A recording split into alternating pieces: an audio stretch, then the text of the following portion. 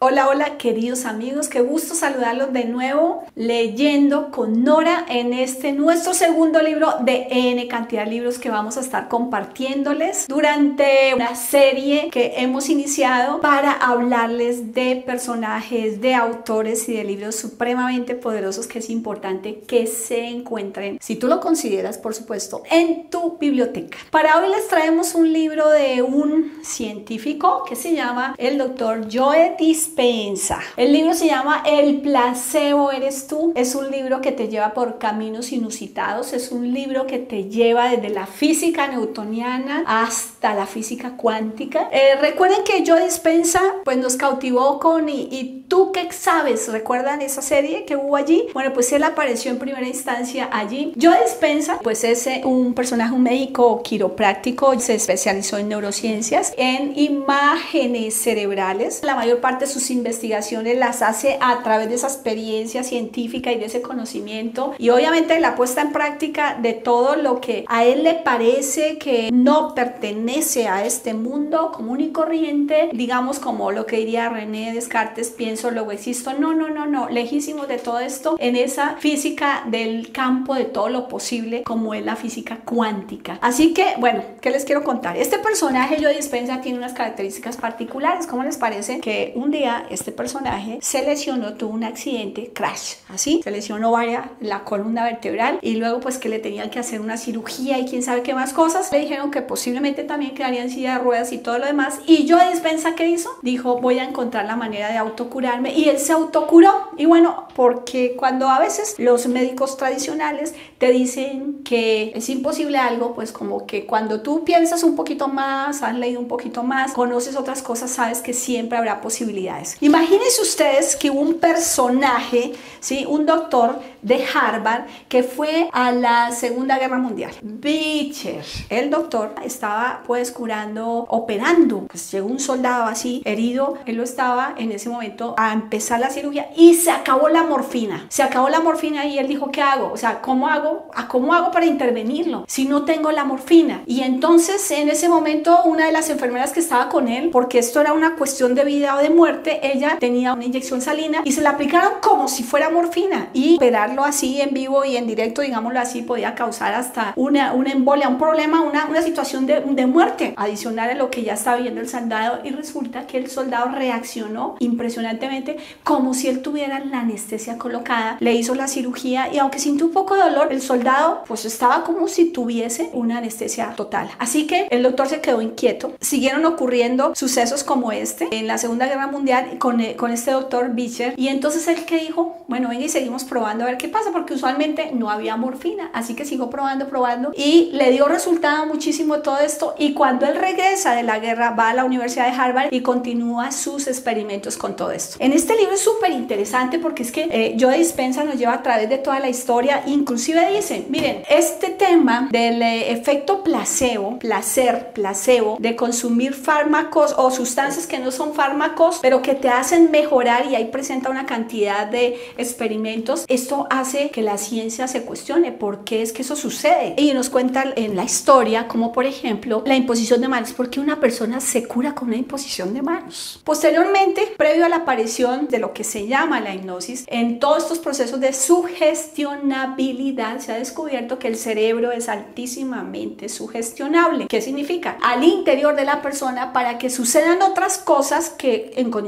normales no se darían y que en algunas otras condiciones solo con los fármacos se darían. Entonces, entre todos los experimentos que él nos muestra, empieza a hablarnos acerca del placebo eres tú y cómo tú mismo puedes a través de tus pensamientos y de tus emociones, tú puedas curarte, sanarte, más allá de lo que algunas personas, doctores o doctos en determinadas materias te digan. Entonces, durante todo este libro, el señor Joe Dispensa nos lleva a cuestionarnos muchos aspectos como los siguientes. Cuando tú observas el viejo yo, el anterior, con sus eh, tristezas, con sus dolores, con sus angustias, y buscas modificar esas percepciones y te ves sabiendo que ya no eres ese programa, entonces él llama programas esos recuerdos negativos que tenemos, realmente son programas mentales, esos anclajes o situaciones, recuerdos negativos que tenemos o positivos también, los llama anclajes. Entonces cuando él dice que ante estos eventos, eh, del antiguo tú, tú te miras como un programa y a partir de ahora te ves observándote, entonces te vuelves el observador y ese es uno de los principios de la física cuántica, ¿no? Que cuando tú observas algo, eso cambia, el objeto en observación cambia y entonces es donde él nos invita durante todo el libro, o sea, son dos partes del libro, son dos partes súper interesantes, entonces la primera nos dice, ¿y eso qué es? ¿Cómo es el efecto placebo, el efecto noceo? Nos cuenta historia, nos muestra imágenes, nos lleva por el mundo de las investigaciones científicas,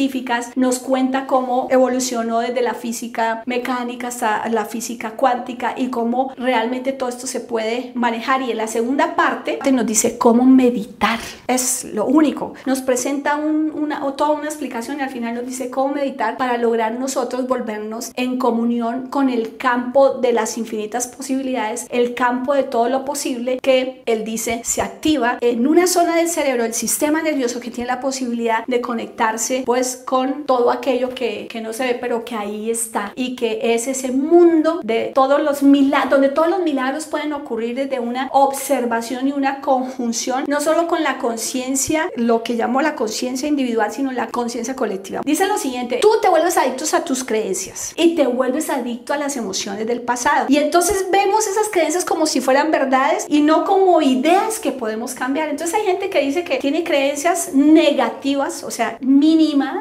acerca de sí mismo y las personas están muriendo, están como en un loop en el pasado y no se dan cuenta que ellas mismas son las que están generando la enfermedad y la falta de resultados. Dice, atención con esto, porque hace mucho énfasis en, todo este punto, en este libro del placebo eres tú. Dice, mira, ¿qué pasa si tú andas estresado todo el tiempo? Si tú andas estresado todo el tiempo, pues sencillamente tu química corporal, tus hormonas, tus neurotransmisores, tu sistema nervioso, pues va a colapsar. ¿Y cómo quieres que te cures? O sea, la gente que está enferma, encontré por aquí un cuadro, aquí lo tengo en la mente, dice, es que hay incongruencia dentro de ti, hay desarmonía dentro de ti, entonces por eso es que uno se enferma. Claro, les quiero contar que al yo dispensa hay un grupo de médicos de comunidad científica que lo ama y hay otros que lo odian. O sea, la comunidad científica tradicional tiende a todos estos genios a sacarlos del llavero, como dice, porque el personaje, según ellos, que no cubre el método científico o no le sigue diciendo a la gente que siga como consumiendo medicamentos y fármacos, que eh, en verdad, dice el doctor yo Dispensa, lo que van a hacer es enfermarte más. Entonces él dice que vayamos adentro de nosotros y que revisemos adentro de nosotros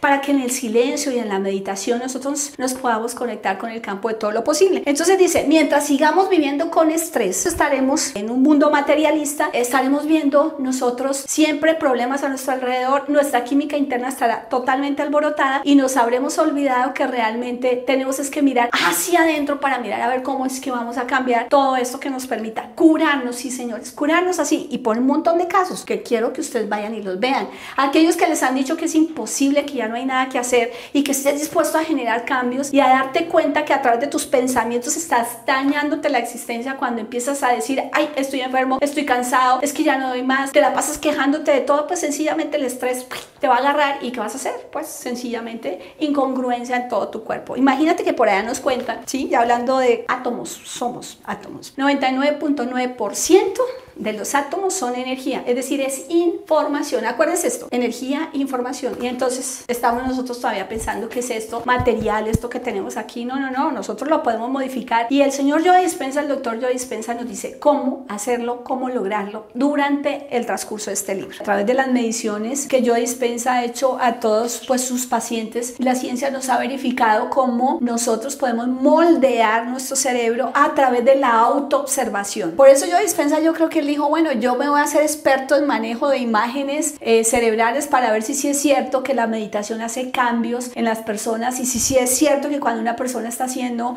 un, un proceso de awareness, de darse cuenta de ello, realmente cambia y eso la ciencia en muchos lugares del mundo lo ha demostrado. También yo Dispensa ha podido medir como cuando una persona llega toda preocupada porque mide un antes y un después, llega preocupada, ansiosa, negativa, vengativa y todo esto, como el cerebro, unas zonas se activan y la persona no mejora. Y cuando empieza a hacer sus procesos de awareness, de trabajo interno, pues mejora. Entonces, miren, por aquí encontré y que les quiero sugerir para que lo tengan en cuenta cuando estén leyendo, en su libro en la página 281, ustedes pueden ver exactamente cómo se puede convertir uno en el placebo. Inicialmente veo un mundo exterior en donde yo estoy, me entro a hacer unos cambios en mi mundo interior adentro de mí. Luego, en ese mundo interior, yo modifico desde ese mundo interior, modifico lo que ocurre allí. O sea, es como si hiciera un, una pareja entre mi mundo interior y un mundo interior donde un observador observa ese mundo interior. Es súper interesante esto. Y luego, ¿qué ocurre? Desde ese mundo interior, tú generas una realidad exterior, que es lo que se, se hace con todos estos procesos que el doctor Joe Dispensa nos comparte.